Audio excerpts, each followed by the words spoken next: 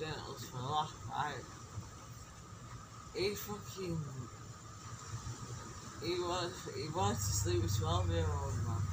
So he was a pedo. It took me a long time to. to And when was this? This was one of your ex boyfriends. Yes, it took me a long, long time to um, to work out what it was. You know, like I was like was on TV with him, yeah. Was, what was it? Watched just went really chill on TV, that's really chilled out. And then all of a sudden, some kiss show came on.